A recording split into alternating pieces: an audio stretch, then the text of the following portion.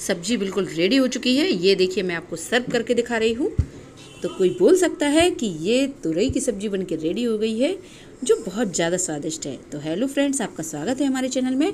आज मैं आपको कुछ हटके, लेकिन बहुत अच्छी बनने वाली ये तुरई की सब्ज़ी बता रही हूँ। तुरई की सब्ज़ी वैसे ज़्यादातर किसी को पसंद नहीं रहती, लेकिन अगर आप इस तरह से बनाएँगे तो बहुत पसंद आएगी। ये देखिए, मैंने तुरई ली है। तुरई को मैंने पील ऑफ़ करके इस तरह से कट कर लिया। जो पतले पीस थे, उनके दो टुकड़े कर लिए। और जो मोटी सी तुरई थी, उनको बीच से कट करके इस तरह से कट कर लिया। इसमें मैंने कश्मीरी लाल मिर्च, एक चम्मच, आधा चम्मच हल्दी का पाउडर मिक्स कर दूँगी अब मैं और इसको इसी तरह से रखी रहने दूँगी। इसको इस तरह से आप मिक्स कर दें और रखे रहने दें जब तक अगली प्रोसेस पूरी करती है। ये मैंने पैन रख दिया है। इसमें मैं कुछ रोस्टेड मसाले तैयार कर रही हूँ। तो मैंने दो बड़े चम्मच धनिए और आधा चम्मच मूंगफली मूंगफली रोस्टेड की हुई है, धनिया भी रोस्टेड की हुई है। इसलिए इसमें बहुत कम टाइम लगेगा। तीन साबुत लाल मिर्च और आधा कटोरी ये डेसिकेटेड कोकोनट अगर आपके पास ये ना हो तो नॉर्मल नारियल कोई भी हो, यानी कि कच्चा नारियल या पका हुआ नारियल, आप उसको भी इस तरह से रोस्टेड कर सकते हैं। और इसको मैंने कुछ ही मिनट के लिए इस तरह से रोस्टेड किया। और ये बिल्कुल तैयार हो चुका है। लास्ट में मैं इसमें थोड़ा सा दालचीनी का टुकड़ा ऐड कर रही हूँ। और अब मैं इन सभी को ग्राइंड कर लूँगी। गैस की फ्लेम तो मैं पहले से ही ऑफ़ कर चुकी थी। इसको थोड़ी देर इसी तरह से चलाती रहूँगी क्योंकि पैन अभी गर्म है। और अब मैं इन सभी को ग्राइंड कर रही हूँ। इसका एक अच्छा खासा पाउडर बनाना है। तो ये मसाला बहुत अच्छा बन के तैयार होता है। ये आप स्टोर करके भी रख सकते हैं। ये ख़राब नहीं होगा आपका। आठ से दस दिन तक ये जैसा है, वैसा ही रहेगा। मैंने पैन रख दिया है इसमें, सरसों का दो बड़ा चम्मच तेल डाल दिया है। ये सब्ज़ी आप कोशिश करें सरसों के तेल में ही बनाएँ। ये मैंने एक चम्मच जीरे डाल दिए हैं और आधा चम्मच सौंप भी डाल दी है इसमें।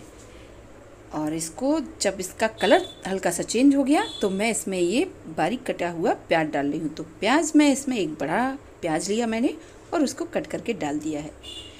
इसमें आपको प्याज को पीसने की ज़रूरत नहीं है। अब मैं इसको बराबर से चलाती रहूँगी। इसका बहुत ज़्यादा कलर चेंज नहीं करना है। जब हल्का सा कलर चेंज हो गया तो मैंने लहसुन, अदरक का पेस्ट एक चम्मच और ये एक चम्मच मैंने इसमें बेसन डाल दिया है। बेसन से जो ग्रेवी में काफ़ी अच्छा टेक्सचर आएगा तो इसीलिए बेसन मैंने ऐड कर दिया है। आधा चम्मच ये हल्दी का पाउडर और इसको भी मैं अच्छे से मिक्स कर दूँगी। बहुत ज़्यादा अच्छी बन के तैयार होती है ये तोरे की सब्ज़ी। आपको बहुत पसंद आएगी। और इसमें, ये देखिए, मैं धनिए का पाउडर लाल मिर्च का पाउडर इसमें ज़्यादा नहीं डालना है, क्योंकि इसमें अलग से मसाला पड़ेगा तो इसीलिए मैं इसमें एक ही चम्मच इसमें धनिया और मिर्च का पाउडर मैंने डाल दिया थोड़ा सा पानी डाला और इसको बराबर से इसी तरह से चलाती रहूँगी, जिससे जो मसाला है वो अच्छे से भुन के रेडी हो जाएगा। अब ये देखिए, जब मसाला अच्छे से तेल छोड़ने लगेगा तो मैं इसमें ग्रेट किए हुए एक बड़ा मैंने टमाटर लिया तो वुड भी डाल दिया है। टमाटर को भी मैंने ग्रेट ही किया है, इसको ग्राइंड नहीं किया है। अब थोड़ी देर इसको चलाने के बाद ही मैं आपको तुरई दिखा रही हूँ कि कितनी अच्छी लगने लगी है। ये देखिए, तुरई का कलर बहुत अच्छा हो चुका है। ये काफ़ी अच्छी बन के रेडी होती हैं। यकीन मानिए, जब आप एक बार इसको बनाएँगे तो आप इसी तरह से ही हर बार बनाएँगे। अब मैंने तुरई भी डाल दी है, क्योंकि मसाले ने अच्छा खासा तेल छोड़ दिया था। इसको डालने के बाद मैं इसी तरह से अच्छे से मसाले से इसको, यानी कि मसाले में ही चलाती रहूँगी।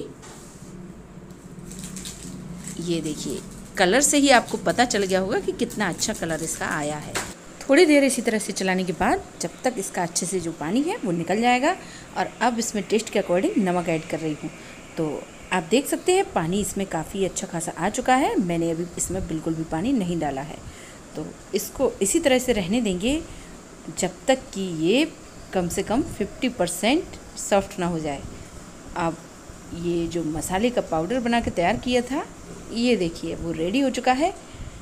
तो इसी तरह से ही आपको पाउडर बना के रेडी करना है। अब मैं ये पाउडर जो है, यानी कि मसाले का पाउडर वो मैं इसमें तीन से चार चम्मच डाल दूँगी।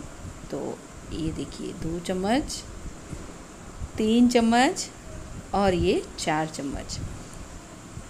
इसको डालने के बाद मैं अच्छे से इसको मिक्स कर दूँगी। और ये बहुत ज़्यादा अच्छी खुशबू आ रही है। यकीन मानिए, पूरा किचन महक चुका है। और जो ये मसाले का पाउडर बचा हुआ है, इसको आप किसी कंटेनर में स्टोर करके रख सकती हैं। ये आठ से दस दिन तक ख़राब नहीं होगा। और आप किसी भी सब्ज़ी में इसको ऐड कर सकती हैं। तो ये देखिए, सब्ज़ी रेडी होने वाली है। मैं इसमें अब थोड़ा सा पानी ऐड कर रही हूँ। आप चाहें तो इसी तरह से रहने दें। मैं इसको हल्का सा ग्रेवी वाली करके तैयार कर रही हूँ तो इसलिए मैं थोड़ा सा ही पानी इसमें ऐड कर रही हूँ, आधा ग्लास और इसको थोड़ी देर तक ही अच्छे से बॉयल होने दूँगी। आपको ये नहीं करना है कि जो तोरई है, वो काफ़ी सॉफ्ट हो जाए। इनको हल्का सा ही, यानी कि 80 परसेंट ही आपको इनको पकाना है। अब ये गरम मसाला ऐड कर दिया है। यकीन मानिए ऐसी तोरई की सब्ज़ी तो आपने पहले खाई ही नहीं होगी। बहुत अच्छी बन के तैयार होगी। अब मैं सभी को अच्छे से मिक्स कर रही हूँ और इसको बॉयल होने दूँगी अच्छे से। तो आपको कलर देख के ही अच्छा लग रहा होगा। मैंने जो गैस की फ्लेम है, बिल्कुल सिंपल ही की है, जिससे ये अच्छे से आराम से बॉयल हो।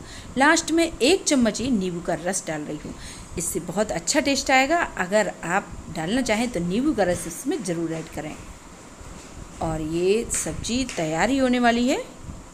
मैं इसको अच्छे से मिक्स कर दूँगी।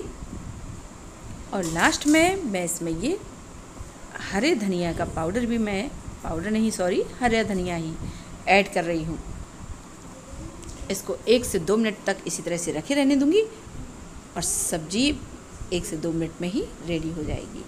तो ये देखिए, सब्ज़ी बिल्कुल रेडी हो चुकी है और जो तोरई है, वो भी बहुत ज़्यादा सॉफ्ट नहीं हुई है, तभी ये बहुत अच्छी लगेंगी।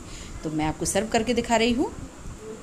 ये देखिए, देखकर ही आपको लग रहा होगा कि कितनी अच्छी बन के तैयार हुई है। ये मैंने 500 ग्राम तोरई बनाई है। आप जितना चाहें उतना ही बना सकते हैं। अगर आप इस तरह से बनाएँगे तो कितनी भी बना लें, सारी तोरई की सब्ज़ी आपकी ख़त्म ही हो जाएगी। ये देखिए, कितनी अच्छी बन के तैयार हुई है। आपको देख कर ही पता चल रहा होगा।